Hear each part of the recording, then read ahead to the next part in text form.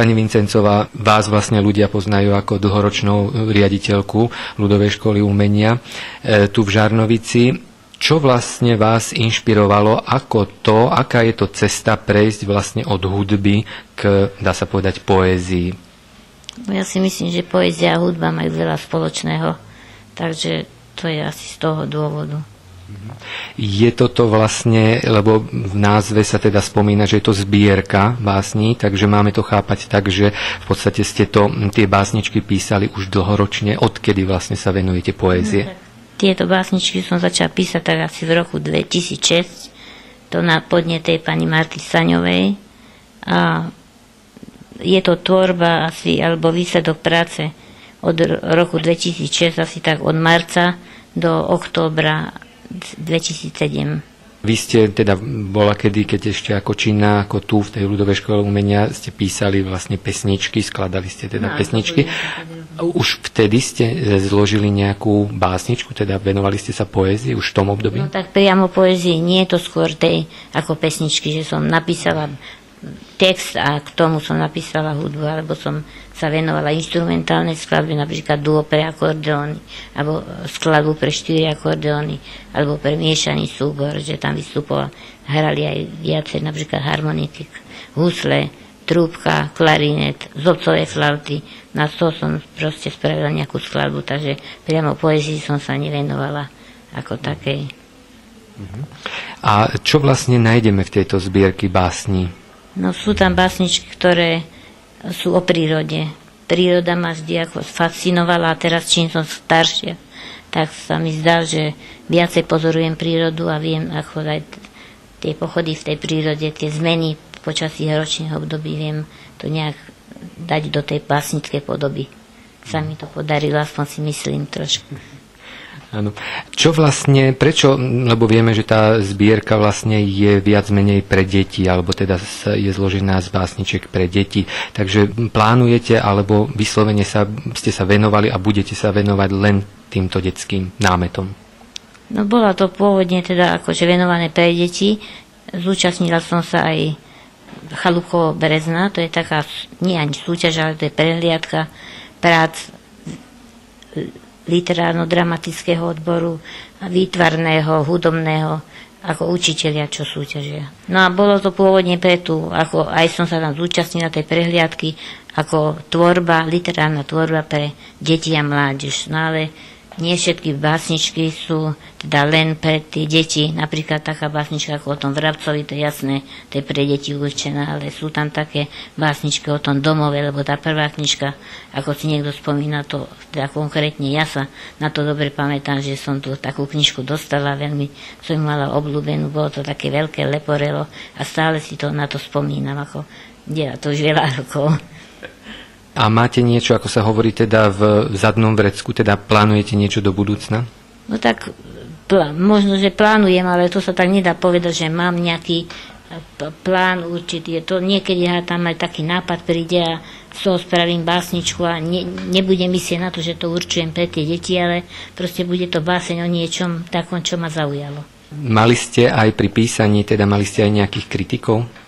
No tak mala som kritikov rodinu, švagrinu, potom tá pani Jakubíková, suseda moja, pani Bieliková, ale tá menej, ale tá pani Marta Staňová, tá, tak akože sme si sadli, povedala som jej básničku, som jej povedala, napísal som báseň, ona potom hovorí, no to sa mi tam nezdá, lebo tak, takže to boli aj takí prví kritici, no.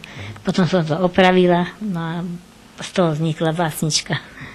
Takže už sme vlastne pri jednej z krstných mám, pretože práve teda prebehlo to krst, ten krst tej vašej knižky e, a máte vlastne dve krstné mamy. Prečo a prečo práve tieto? No tak práve Martu Staňovú preto, lebo ona má vlastne prvá tak podnetila tejto, liter, teda, tejto básnické činnosti, pretože potrebovala tie básničky pre deti, ktorým sa venovala ako mimoškolskú činnosť, čo robili to bola materská škôlka v Partizánskej ulici, pani Sabaneková, čo bola rejiteľka.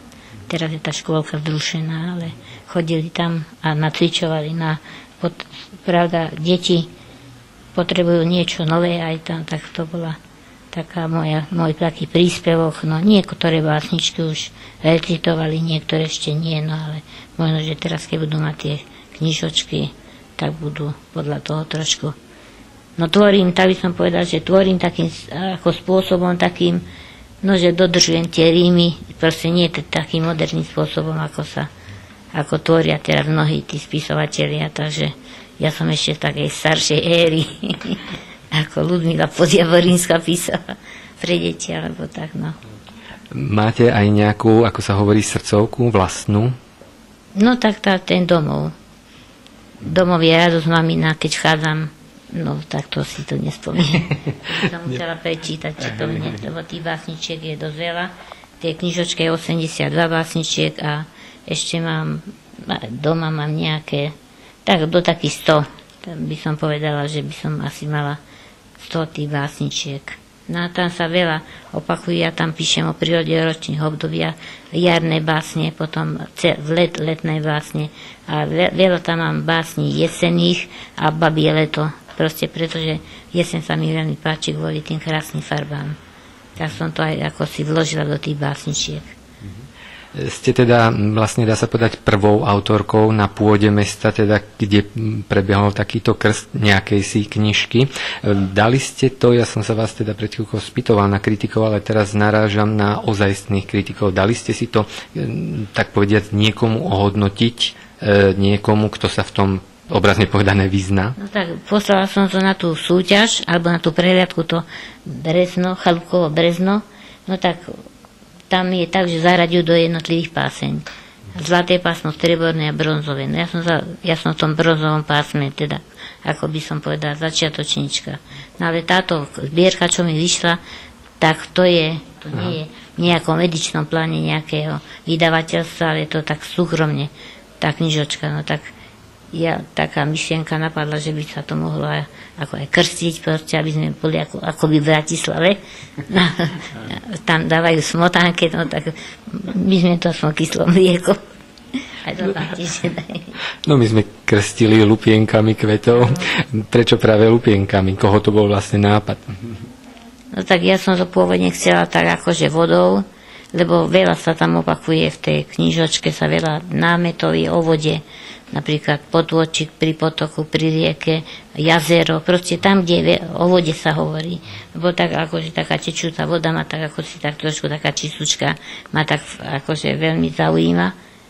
No a ale Vám potom bolo ľúto, áno, obliať tú knižku vodou? Áno, potom sme to ako zavrhli na, keď sme mali takú, akoby takú poradu pre touto udalosťou, tak navrhli potom ako že by to bolo dobre tými lupienkami rúží, s tým sa ako knižka neznehodnotí, teda neobleje a nič. No a bude to také symbolické, ako že príroda, lupenie rúžie, to je rúžie krása, je to symbolika ako prírody, takže a tá, tie básničky sú o prírode, mnohé aj s názvom príroda je tam, alebo o jazere, proste to by si museli po, pozrieť, prečítať. Dobre, takže knižka je na svete, je pokrstená, budú mať obyvateľia alebo možno aj širšia verejnosť si ju možno niekde kúpiť, objednať? No tak zostalo mi tam zo pár tých knižiek. Ešte, ešte som sa nedohodla s nikým, že ako formou, lebo mala som 50 výtlačkov a väčšinu z nich som rozdala.